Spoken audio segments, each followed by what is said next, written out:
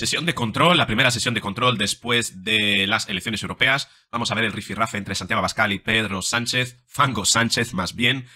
Y bueno, vamos a ver por dónde va a salir cada uno. No sabría decirte cuál es la estrategia de eh, Abascal. Posiblemente saque a colación el tema de, eh, ahora lo llaman cuelgamuros, lo del Valle de los Caídos, que quieren hacer ahí algo para manipular y tergiversar la historia. En fin, Valle de los Caídos. A mí me gusta más llamarlo el Valle de los Caídos porque como caídos identifica a los caídos de los dos bandos.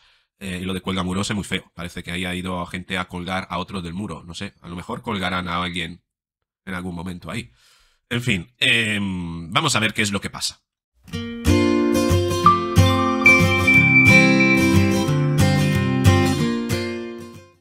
Señor Sánchez, ¿está usted dispuesto a meternos en una guerra para ocultar su corrupción? Se lo pregunto porque para tapar su corrupción política y económica, usted la ha emprendido a conflictos diplomáticos y a insultos a diestro y siniestro por todo el mundo. Usted ha iniciado conflictos diplomáticos gravísimos con Argentina y con Israel. Usted ha insultado al primer ministro de Italia. Usted ha insultado al primer ministro de Hungría, que pronto será el presidente de turno de la Unión Europea, lo que no parece muy inteligente. Usted ha insultado a quien muy pronto gobernará en Estados Unidos y ha insultado a quien más pronto que tarde gobernará en Francia. Todo para tapar su corrupción política representada en la ley de amnistía, que representa el fin de la igualdad de los españoles ante la ley, y la corrupción política de sus ministros y de su familia, y nada para defender los intereses de España y de los españoles.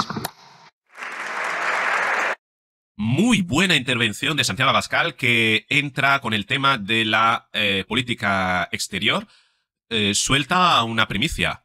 Eh, Víctor Orbán se va a, ser candidato, ha dicho, el, el, de Hungría ha dicho, ¿no? Que quiere ser presidente de turno de la Unión Europea pues sería un bombazo. No sé cómo lo va a hacer, cómo lo va a conseguir, pero vamos, eso me gusta, me gusta mucho. Vamos a ver si consiguen desatornillar a von der Leyen. Sería algo muy, muy, muy beneficioso para la Unión Europea. Von der Leyen representa a Pedro Sánchez. Pedro Sánchez es mujer y elevado a, a, la, eh, a, la, Unión Europea, ¿no? Vamos a ver cómo contesta, cómo contesta eh, Fango Sánchez. Muchas gracias, señora presidenta. Buenos días, señora Bascal. Usted pregunta por la posición diplomática del Gobierno de España. Me resulta bastante curioso que usted, que siempre da lecciones de patriotismo, sea el primero que va corriendo a ver a Netanyahu, a darle una palmadita en, el hombro, aplaudirle y animarle a continuar con esos bombardeos indiscriminados en Gaza. Esa no es la posición del Gobierno y esa tampoco es la posición de la sociedad española. Respuesta insulsa a la de Fango Sánchez. Hay que considerar que ayer eh, consiguió, eh, anunció eh, Pedro Sánchez eh, una serie de ayuda, no sé, una millonada de euros a Gaza y el perdonar la deuda a 10 países eh, africanos, en fin, subdesarrollados, con nuestro dinero, ¿no? Por tanto, imagina, ve lo que hacen con nuestros impuestos, sobra el dinero, por lo visto, podrían reducirlo a los españoles, pero los españoles básicamente lo que estamos haciendo es tapando la corrupción de países subdesarrollados, con gobierno que tienen intereses propios y nosotros, bueno, les ayudamos en ese sentido, ¿no? Gracias, señor presidente. Señor Abascal, cuando quiera. Intentos de división, de odio, mentiras y manipulaciones. Usted ha vuelto a ser en su respuesta un perfecto representante de este gobierno, o mejor, un perfecto representante de sí mismo. Todo para tapar la corrupción de sus ministros, todo para tapar la corrupción de su hermano, todo para tapar la corrupción de su esposa. Corrupciones que ya están siendo investigadas en los tribunales en los que estamos personados. Y cuando digo todo es todo, usted inicia conflictos diplomáticos e insulta personalmente a los jueces. Usted, lo que le ha valido un durísimo reproche por unanimidad del Consejo General del Poder Judicial. Y nada para defender los intereses de España y de los españoles nunca. Todo para permanecer en el poder a cualquier precio, como ha hecho con ese acto de corrupción política que es la ley de amnistía que le ha permitido comprar su investidura. Por cierto, todo ello gracias al Partido Popular Español que no bloqueó en el Senado, pudiendo hacerlo la ley de amnistía, y gracias al Partido Popular Europeo de la señora von der Leyen, que está blanqueando al señor Sánchez, que representa a un gobierno de la extrema izquierda con la que el Partido Popular Europeo parece que está dispuesto a pactar. Señor Sánchez, nada nunca para defender a los españoles que padecen las consecuencias de la inmigración ilegal, nada para proteger a las mujeres de la inseguridad y de las violaciones que aumentan con su gobierno, nada para proteger al campo español y a la industria nacional de la amenaza de muerte del Pacto Verde y de la Agenda 2030. Y de todo ello le pediremos cuentas y de todo ello tendrá que responder ante los tribunales y no habrá nada que pueda hacer para impedirlo, aunque lo intentará todo, lo intentará todo, porque ya hemos dicho muchas veces que lo peor de Sánchez está por llegar. Señor Sánchez, todo lo que he dicho es verdad y usted lo sabe. Y nada de lo que usted va a decir es verdad y también lo sabe. Bien, Santiago Abascal, en su línea, yo creo que lo que podemos destacar de aquí es que su intención es llevar a eh, Fango Sánchez a los tribunales. Punto. Alvise lo quiere meter en la cárcel, quiere saltarse el Estado de Derecho. Eh, Vox, al menos, eh, en fin, confía en el Estado de Derecho, en la posibilidad de que puede conseguir en algún momento destapar toda la corrupción de la familia Sánchez. El clan Sánchez. También podríamos llamarlo el clan Sánchez, ¿no? Vamos a ver cómo se defiende Fango. Muchas gracias, señora presidenta. señora Abascal, eh, comprendo su nerviosismo. Lo comprendo. Le ha salido un duro rival. Usted estaba acostumbrado a, en fin, a, hacer declaraciones eh, de mucha hipérbole, de mucha exageración, de mucha radicalidad, competir en el ámbito ultraderechista con el señor Feijóo y ahora le ha salido otro competidor en el señor Alvise. Aquí utiliza la triangulación, hablar de Alvise que no está, no puede estar, por supuesto, porque las elecciones eran europeas. Eh, y además em, hace una atribución de intenciones, una atribución de emociones, ¿no?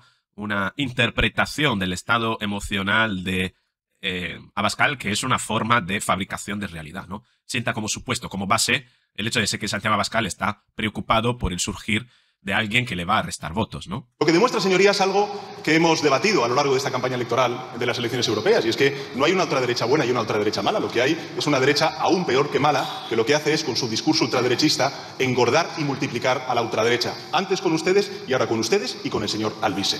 Y yo sé, señoría, yo sé, señoría, que, nosotros somos un problema para, esa internacional ultraderechista ahora mismo de tres cabezas en España. El señor Fijó, usted y el señor Alvise.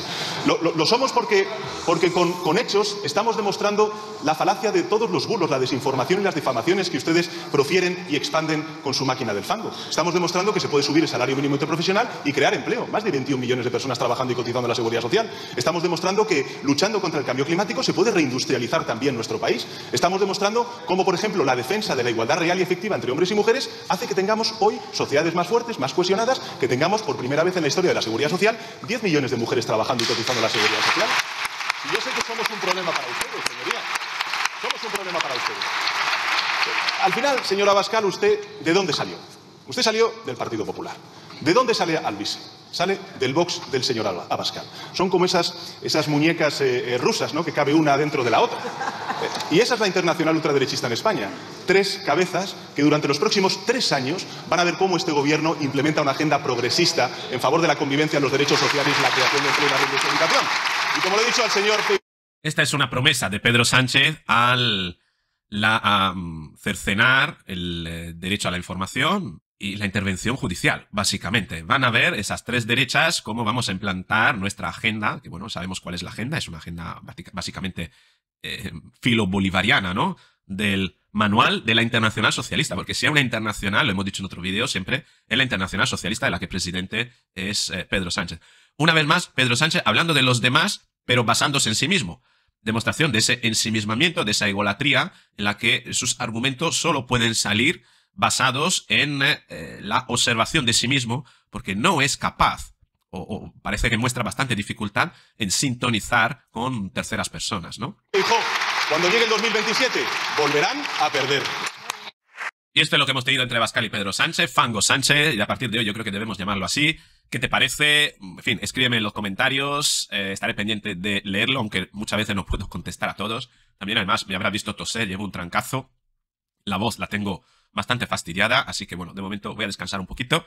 Y nada, nos veremos en un próximo vídeo. Acuérdate, dale a like, comparte, suscríbete, activa la campanita y así sí que no te perderás el próximo.